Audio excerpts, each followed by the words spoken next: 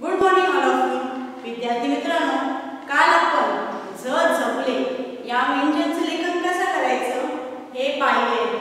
आज आपण व्यंजनचं आज आपण व्यंजन जे पाहणार आहोत. ते व्यंजन आहे न.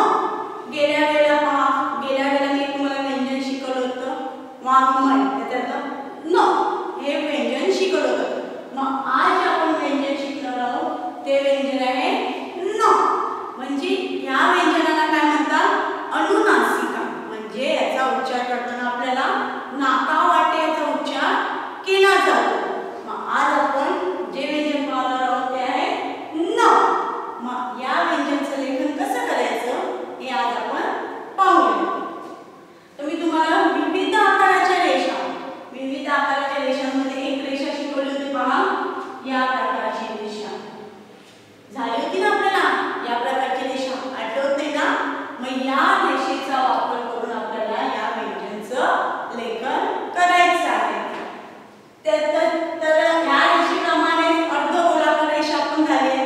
त्याचाही वापर आपण इथे करू शकतो इथे बघा अर्धगोलाकार रेषाच काढायची आहे हे अर्धगोलाकार रेषा काढायची आहे पण या अर्धगोलाकार रेषा कशी असते दोन्ही भाग समान असतात पण आज व्यंजनचं लेखन करण्यासाठी जी रेषा काढायची आहे ती जी खालचा भाग आहे तो थोडा इथे वरपर्यंत आपल्याला न्यायचा आहे म्हणजे तुम्हाला एक बघा विविध आकाराची रेषा झालेली आहे त्याचा वापर आपण इथे करायचा आहोत हे झालं की त्याला द्यायचे आडवी रेषा आणि त्याला द्यायची उभी रेषा की आपलं व्यंजन झालं न परत पाहूया विविध आकाराच्या रेषा लक्षात ठेवायचं की हे काढताना इकडची जी खालची बाजू असते ती थोडी वरपर्यंत अशी न्यायची आहे.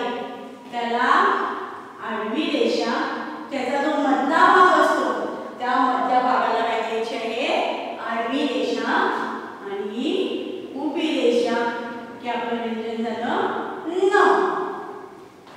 विविध आकाराची रेषा आडवी रेषा उभी रेषा न मग आपले जे टिंब टिंब दिलेले होते ते जोडून झालेले आहे आता आपण डायरेक्ट काढायला घेऊया चला काढताना एकदम सहज पद्धतीने काढायची अर्धगोलाकार रेषा सारखी फक्त थोडंसं वरती न्यायचा भाग ही आडवी रेषा आणि ही उभी रेषा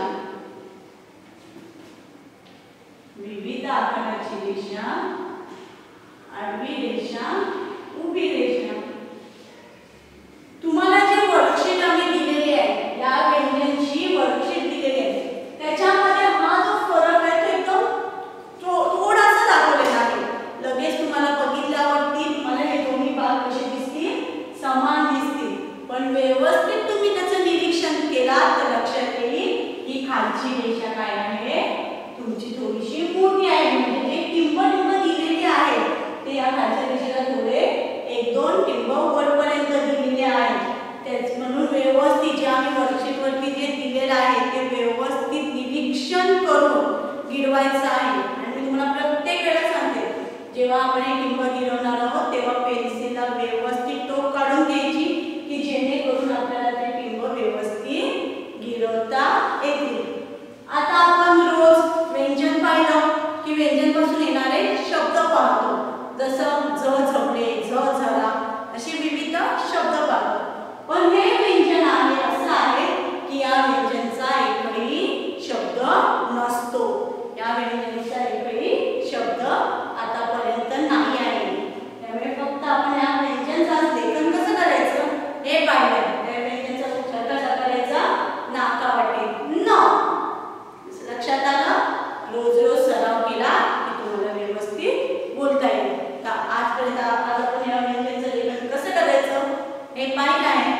याचा पुढचा पाठ आपण उद्या पाहू. धन्यवाद.